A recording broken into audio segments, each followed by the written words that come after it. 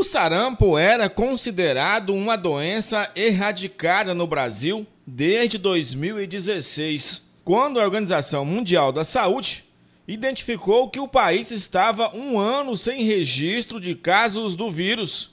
Mas isso mudou. Boletins recentes da entidade advertem que está em curso um surto da doença altamente contagiosa. O sarampo é uma doença viral, né, que acomete crianças e adultos, uma doença que pode ter uma gravidade e pode ser levado a óbito se não for tratado no início. O sarampo é uma doença infecto-contagiosa provocada e transmitida por secreções das vias respiratórias, como gotículas eliminadas pelo espirro ou pela tosse.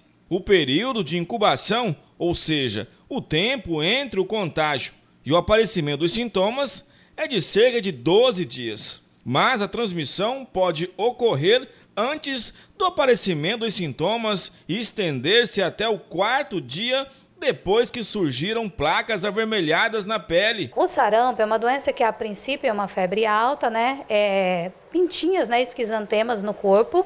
E aí depois ela pode evoluir para problemas pulmonares, podendo chegar até a óbito. A vacina anti-sarampo é eficaz em cerca de 97% dos casos. Deve ser aplicada em duas doses. A primeira a partir dos 12 meses de vida da criança e a segunda entre os 15 e 24 meses. Devido à pandemia, os pais se ausentaram muito das salas de vacina. Então, assim, essas crianças estão com as vacinas bastante atrasadinhas, né? O vírus está circulando, já a gente já tem esses dois casos confirmados em Rondônia, porém acreditamos que pode ter mais.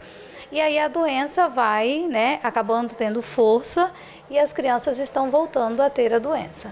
Aqui no município de Rolo de Moura, aproximadamente quantas crianças né, tem e que precisam ser imunizadas? Dá para ter uma noção, Rosa? Nós temos um, um, número grande, uma noção de quantidade correta não. Mas assim, todas as crianças de seis meses a menor de cinco anos, nesse momento está liberado a vacina contra sarampo. Então é de suma importância que o pai venha, procure a unidade de saúde e imunize o seu filho. Sim.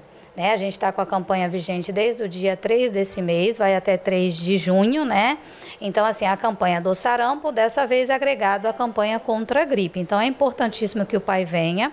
Se a criança às vezes não está bonzinho, não tem febre, pode já estar tá trazendo. Agora, se tem febre, adia lá uma semaninha e traz, porque é importantíssimo, porque essas doenças, elas estão retornando, né? A acometer principalmente as crianças nesse momento. As complicações da doença, que inclui otites, infecções respiratórias e doenças neurológicas, podem provocar sequelas como surdez, cegueira, retardo do crescimento e redução da capacidade mental.